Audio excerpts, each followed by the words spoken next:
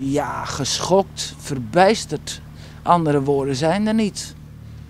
Dat daar kan je toch met je bolle kop niet bij. Met een beetje normaal verstand. De dood van de 28-jarige bodybuilder Eva Veerman komt hard aan in Volendam. Vooral in de buurt waar zij nog maar net woonde. Het was een hele vriendelijke, vriendelijke meid, een hele, een hele spontane meid. Ze woonde er nog maar net. net. Helemaal eh, kennismaken met de buurt, allemaal leuk, eh, lekker spontaan. Maar ja. Dit, eh, ik hoorde hier gisteren van eh, op en dat, eh, ja, het sprong een beetje de tranen in de ogen. Het is minder leuk allemaal. De 34-jarige vriend van Eva is met verwondingen naar het ziekenhuis gebracht. Daar is hij aangehouden door de politie. Deze onderzoekt nu of hij met de dood van de jonge vrouw te maken heeft. In de buurt en de rest van Volendam gonst het direct van de geruchten.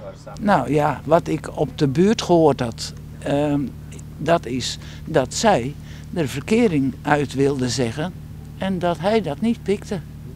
Hij heeft eh, haar daarom vermoord. Ja, drugs in het spel, hè? Denkt u? Jazeker. Dat was geen ruzie, dat was gewoon, kijk, dat was een lieve meid, dat was een lieve vriend. Maar ja, goed, misschien... Kijk, dat is het vervelende hier. Kijk, je- je- ze maken van een muis een olifant. Laat de politie nou goed zijn werk doen. En voordat je al die Wild West verhaal krijgt, dan eh, daar is de politie ook bij mee. Want de politie is, is niet blij met al die Wild Wild West verhalen, toch? De politie gaat uit van een misdrijf en doet verder onderzoek naar de dood van de 28-jarige.